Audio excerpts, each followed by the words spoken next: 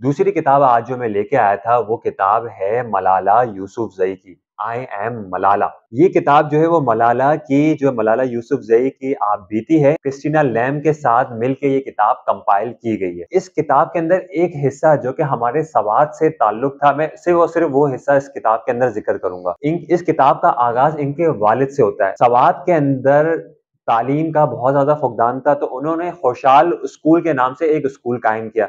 जब वहाँ पे तालिबान आ गए, तो वहाँ पे तालिबान की तरफ़ से वहाँ पे बहुत ज़्यादा उनको टॉर्चर किया गया, बहुत ज़्यादा उनको फ़ोर्स किया गया कि ये जो लड़कियों की एजुकेशन दी जा रही है ना सवाद के अंदर 2000 शायद 6 की बात है ये, कि सवाद में पूरा तालिबान ने उसको कंट्रोल कर लिया था।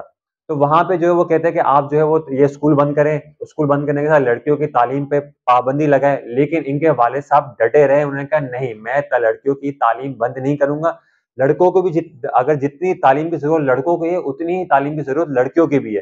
तो उन्होंने जो है अपना स्कूल बंद नहीं किया। आखिरकार ये हुआ कि उन्होंने जो है वो इनको स्कूल को टारगेट करने के बजाय उनकी बेटी को टारगेट किया, वो वो ज़ख्मी हुई, ज़ख्मी होने की वजह से जो है वो अमेरिका गई और आज देखिए पूरी दुनिया के अंदर वो एक रोल मॉडल बनी हुई एजुकेशन के ऊपर। कॉन्ट्रोवर्सीज अलग है, लेकिन स्ट्रगल्स उनके वालिद साहब की बहुत ज़्यादा है उस इलाके के अंदर।